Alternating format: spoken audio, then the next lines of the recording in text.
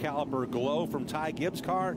He was trying to hang with the number 15 car, but Jesse Love rolling the turn one for the final time. Looks like he's got him covered, Bob. Jesse Love approaching a two second advantage now on Ty Gibbs. Gibbs will wrap up the Sioux Chiefs Showdown Championship. But a star is born tonight at Salem. The California kid, Jesse Love, wins in the ARCA Menard Series.